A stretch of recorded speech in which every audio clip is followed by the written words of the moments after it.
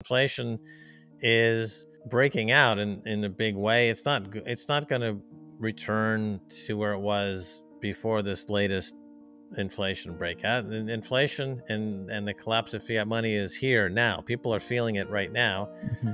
And the quality of life all over the world is being impacted by it and it's being impacted in the US, you know, people can't buy a home, people can't afford food, price of uh, oil and energy is now starting to ramp back up again.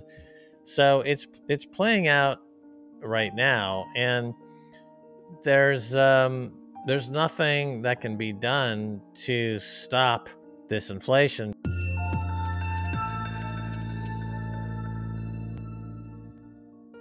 Welcome back to Unscripted Crypto, where we delve deep into the financial realm.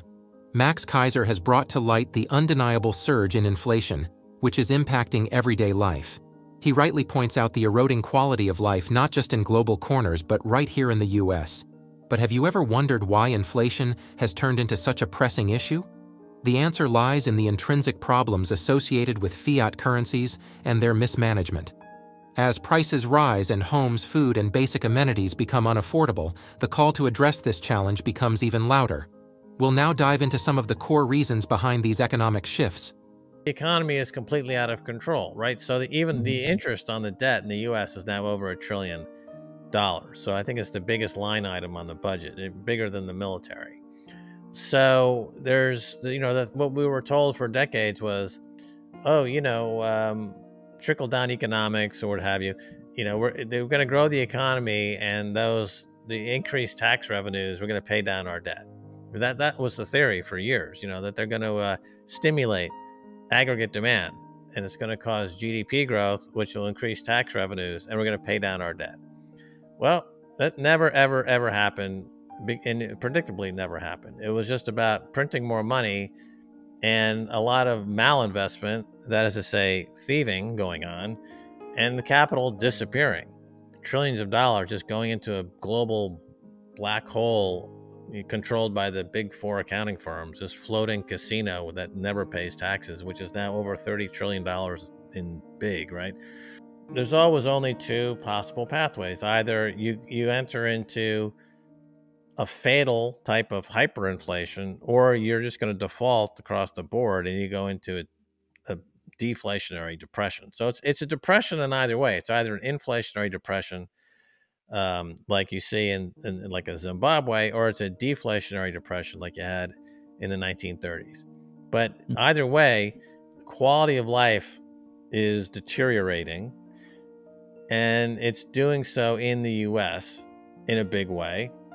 And so and and there's there's no nobody's coming forward with anything any solutions because it's past having a solution.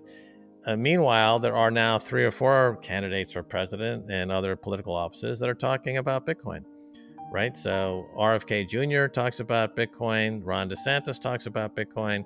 Cynthia Lummis has also been uh, talking about Bitcoin.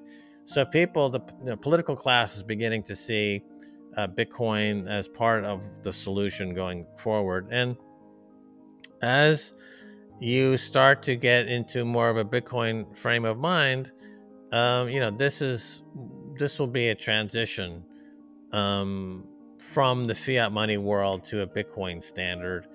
And it'll be driven not, I don't see it taking decades, you know, because it'll be the result of another colossal wave of bank failures, which is hmm. baked into the cake, really. The, the banks are insolvent, they're held together with accounting chicanery. There's nothing there. The central banks are completely devoid of any assets whatsoever. They're leveraged worse than Enron. I think the Federal Reserve is leveraged 90 to 1 or something like that. It's completely the Bank of Japan, which is really the linchpin central bank in the world. If you want to know really and you want to follow the global central bank, you would follow the Bank of Japan because they've always been the funding currency for many decades now where other central banks would borrow from the Bank of Japan, uh, Japan and invest in higher yielding currencies in what's called the carry trade and mm-hmm. to, to try to extract another 20 or 30 basis points. The Bank of Japan has always been the cheapest source of funds, and they because they've been tapping into their country's pension funds, which were overfunded by billions of dollars for many years, and they've kind of run out of that, and they've run out of that money, and they're going bankrupt. And now, um, Japan, it looks like it's entering into um, default, and, that will drag everybody else down with it. Following from Max Keiser's insights, the economic landscape is looking more treacherous than ever. It's shocking to realize that even the interest on the U.S. debt now surpasses a trillion dollars, overshadowing even the military budget. And while theories about stimulating the economy through increased tax revenues and paying down our debts sounded good on paper, they haven't materialized. But there's a silver lining the growing political discourse around Bitcoin. As candidates and politicians begin to recognize its potential, could Bitcoin pave the way for a new financial era? Let's examine how Bitcoin might fit into the picture as an alternative to the fiat system, especially with looming bank failures and a potentially insolvent financial system. If you look at the shitcoin market, which is like 25,000 shitcoins, it's actually a mirror of everything else. It's like the shitcoin market is actually the market. That's the way everything is. It's completely mispriced nonsense. Um, it, and the shitcoiners didn't invent market manipulation you know they're just mimicking what the system already was you know and it's interesting to, for me who's been in the business for over 40 years to see how the regulators have responded to it particularly gary gensler over at the sec and and this growing awareness about what's really going on with these shitcoins and how the shitcoiners have been able to play dodge you know hide and seek with regulators for so many years. And the regulators are very slow to act. And so the, the more sophisticated shitcoin scams are aware of that. And the way that they constructed themselves was to purposefully avoid the regulatory scrutiny. You need regulation. Everything is regulated.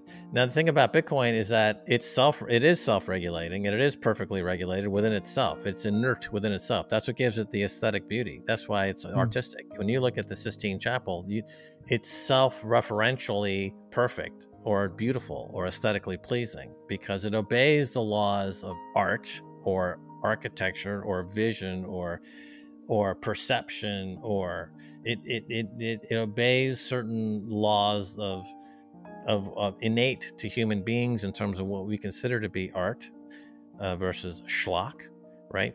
Um, mm-hmm. there's a difference. And so with bitcoin all of that is self-contained.